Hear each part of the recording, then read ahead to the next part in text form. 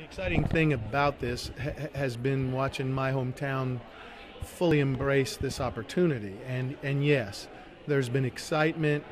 I wouldn't call it lobbying, but there's certainly been several, many, many people from all facets of our community sharing their thoughts about this with me. Um, I've kept my own personal preference uh, to myself and watched it develop, tried to stay impartial.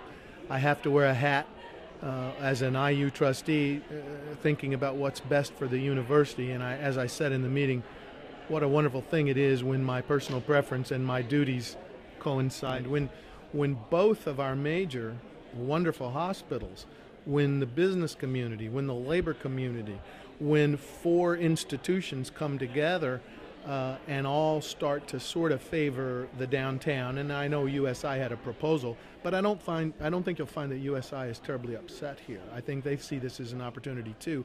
So when all of that coincided, it made it pretty easy for me to want to favor downtown too. I go to work every day of my life downtown, so right, right, right. I hope that it becomes official this afternoon. Um, I mean, obviously, I believe that it will. I think that in my lifetime, um, a kid who in the seventh grade used to take the bus to shop downtown, uh, and then have watched during my lifetime shopping move to the to the suburbs, and each mayor successively trying to find a way to make our vi- our downtown viable. No great city in the world uh, has uh, been successful without a viable downtown.